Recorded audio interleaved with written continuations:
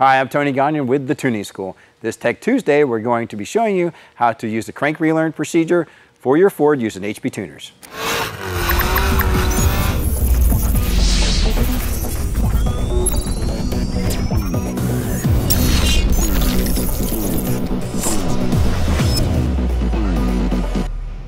2011 newer Ford vehicles that have the crank sensor attached to the rear of the crank require crank sensor relearn procedure to ensure the crank sensor timing read is correct to the engine rotation. When removing a flywheel or flex plate on the back of these engines, the crank sensor reluctor ring is held in place by the assembly.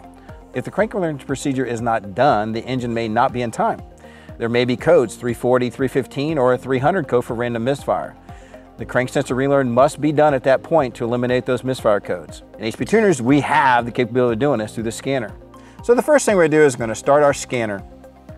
When it connects to the vehicle, goes across and we'll pull all the PIDs. That is up. Once it's up, first thing we're gonna do is we're gonna check that DTC menu just to make sure. Read DTCs, we don't want any DTCs. If you have any DTCs, the engine will not do a crank relearn procedure. In this case, we have no DTs noted, which is good. I'm gonna clear anyway at this point, and then I'm gonna exit. We're ready to go to our input outputs next. Select our input outputs. You'll notice there's two things here, the KAM reset and a crank relearn. The KAM reset is needed sometimes if you have to reset the KAM memory, which is kept alive memory as we call it. In this case, we don't need to, so we're gonna go right into the crank relearn procedure. The first thing it tells us, it needs to be over 80 degrees Celsius. 180 degrees is our target. At this point in time, we're gonna go ahead and hit okay. It's gonna tell us to start the car.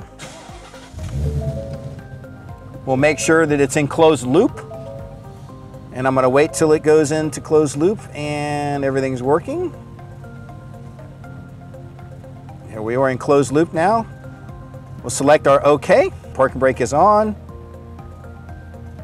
Here we go, 4,500.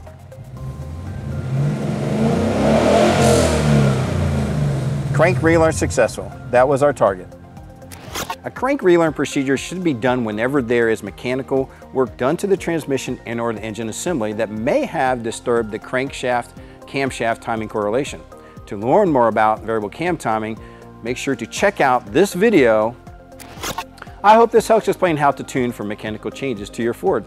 Thanks so much for watching this episode of Tech Tuesday. Make sure to follow us on social media for more high performance tuning knowledge. And until then, stay tuned.